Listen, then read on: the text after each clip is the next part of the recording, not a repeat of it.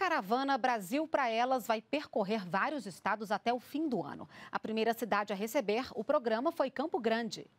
Mulheres de 25 municípios de Mato Grosso do Sul e autoridades participaram do lançamento da caravana Brasil para Elas.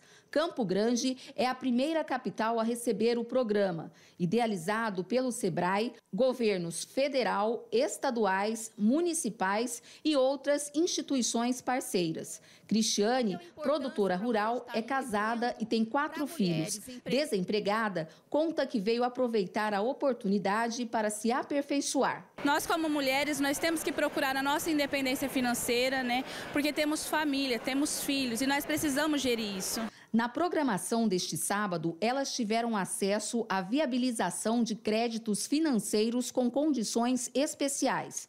Também participaram de cursos técnicos, palestras com temas sobre o poder do empreendedorismo feminino, orientações para se formalizar como MEI, microempreendedor individual. Segundo o Ministério da Economia, a intenção é capacitar 20 mil mulheres a ter seu próprio negócio e conquistar a independência financeira. A ideia é que a gente vai desenvolvendo todos os mecanismos de política pública que a mulher precisa para ela dar, realizar seus sonhos e ter independência financeira da família. Esse é um importante passo para colocar em prática o sonho de ser dona do próprio negócio. Ser independente, né?